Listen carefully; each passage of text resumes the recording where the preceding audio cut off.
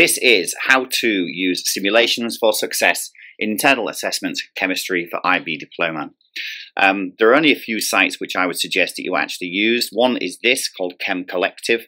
We'll have a look at ChemReacts shortly. We have to be very careful that we are actually using a simulation which is going to give us um, a range of information, a range of values in the dependence variable, and the ability to change the independence variable at least five times. So things like dilution problems, uh, concentration of coke, uh, making stock solutions are all very good teaching tools, but they do not lend themselves to the IA criteria. In fact, nothing in here in stoichiometry I can see would lend itself to the rubric for success, at certainly anything beyond the lower levels. So limiting reactants, again, nothing in there. We can do that on a piece of paper. We don't need uh, our laboratory or a simulation to do that. Within thermochemistry, there are some nice, again, teaching tools. Heat of reaction of aqueous solutions. Uh, I've had a look at that one. It's quite limited. There are only three things you can change in there, so that's not applicable. Measuring the heat capacity of an engine coolant. Okay, um, you could maybe have a look at that, but you only come up with one result. And one result propagated is not enough to meet the criteria. Hess's Law, you'll find dozens of Hess's Law simulations on the internet. This is just one example. Again, I wouldn't suggest that we do this. Uh, cobalt chloride and Le Chatelier's principle, uh, LCP, is a good one to think about and to discuss because clearly there are limitations with Le Chatelier's principle, which you should be aware of. Uh, exothermic, endothermic direction in relation to changing the volumes of the reactants or the products at constant uh, pressure. Uh, how could you qualitatively predict which direction it will go into? Uh, in here, again, we're going to have three different solutions. I suspect that we could uh, change the dilution of them, go into the stockroom. We have some water here. And we also have our uh, solutions, cobalt 2 chloride. Here we have one molar. And you will find as you get used to playing with the virtual laboratory settings, it's actually really quite good. Volumetric flasks, beakers, pipettes, measuring cylinders, Erlenmeyer flasks. So here's a 250 beaker. If I want to pour something into a 250 beaker, I just take my cobalt chloride, drag and drop it over the top. As I release, the instruction that I want to do is to pour. Let's pour 10 cm cubed into there. And there you can see 10 cm cubed has been decanted into the beaker. What is nice in here, perhaps as a development tool to get into used to using this software, is that we can see the molarities given to, uh, well, that's nine decimal places, isn't it? So as we add little bits of water, let's throw 1 cm cubed of water into here and pour.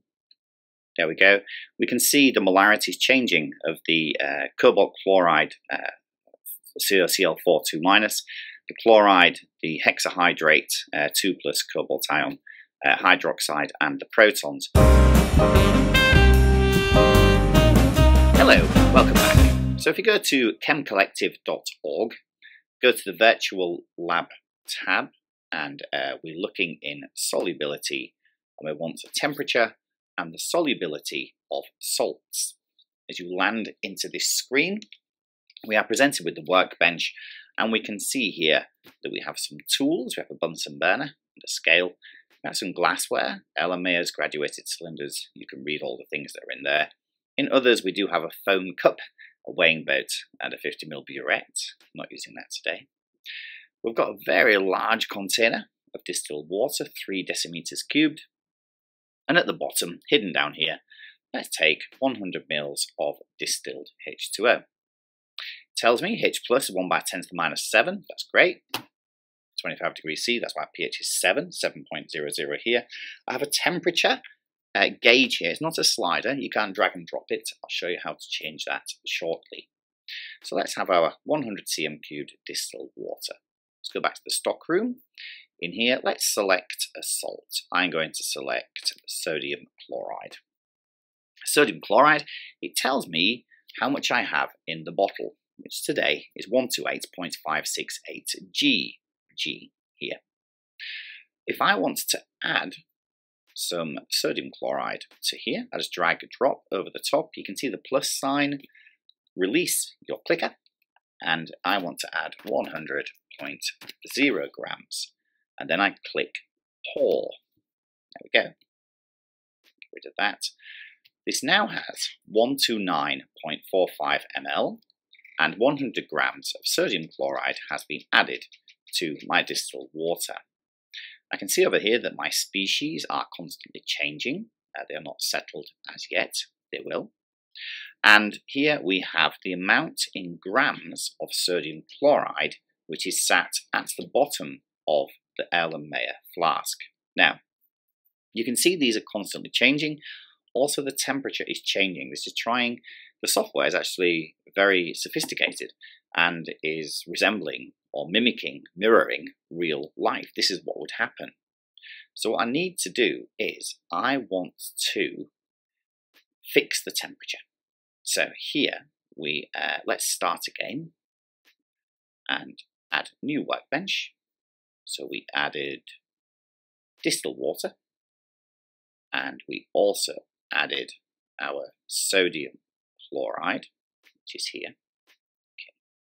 We can right click on each of these and I can edit the thermal properties. Okay, so currently this is at 25 degrees C. Let's take it to 0 degrees C, 0.0 degrees C. And if I click insulate from surroundings, that will stay at 0, now I've got three decimal places, degrees C. We can also do the same, because we need to do the same. If I add warm sodium chloride to cold water, it will change the temperature of both. They'll reach an equilibrium position. So edit thermal properties, and let's make the sodium chloride 0 degrees C as well. The observant amongst you will just see I forgot to click, insulate it from the surroundings, do that one again, all good practice. Now they are both at 0 degrees C. Now I can add my sodium chloride to my H2O, 100.0, pour that in, get rid of you. Thank you very much. I now have 129.93 cm cubed, milliliters, at 0.00 degrees C.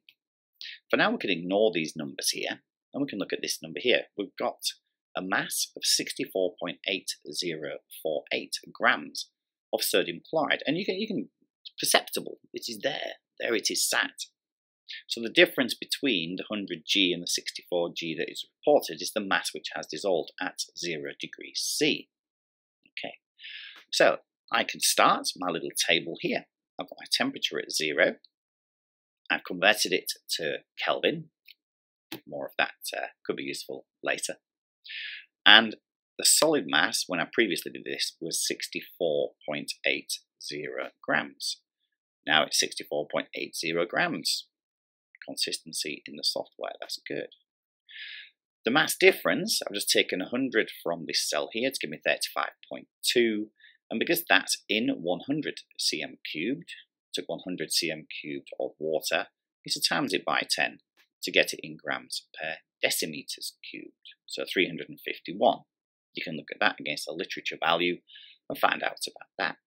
Is it accurate? The molar solubility will be this divided by the molar mass of the sodium chloride, which is 58.44.